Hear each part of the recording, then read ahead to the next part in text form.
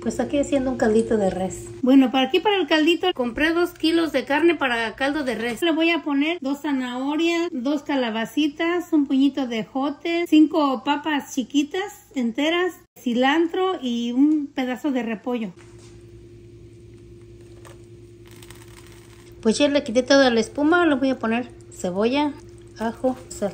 Y al último lo voy a volver a probar de sal a ver si le falta. Bueno, como ya le puse todo, ya le voy a bajar la llama y ya lo voy a tapar.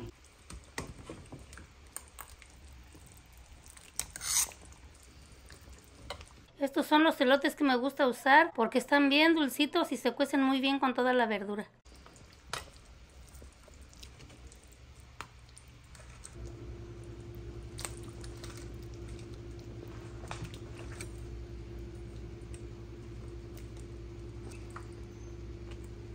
Mi receta del arroz va a estar etiquetada aquí arriba.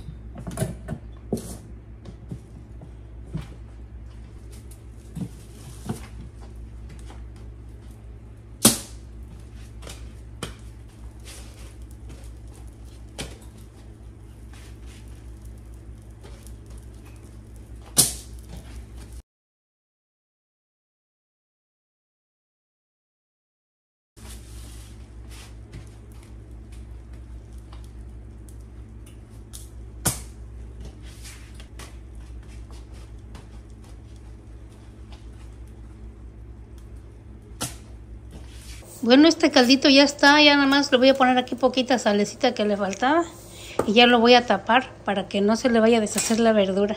Pero ya, ya está. Quedó bien rico, miren. Ya, ya lo voy a tapar y ya le voy a apagar.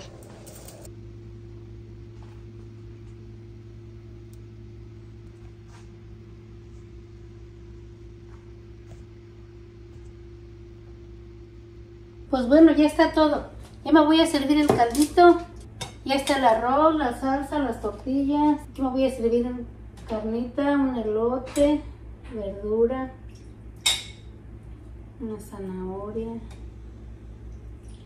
un repollo, una sopita de arroz. Entonces a mí me gusta ponerle salsita. Me gusta ponerle salsita y, y limón aquí a la carne. Quedó bien blandita la carnita. Bueno, pues se llegó la hora de almorzar. Una salecita. Una salsita. Bueno, pues se llegó la hora de almorzar.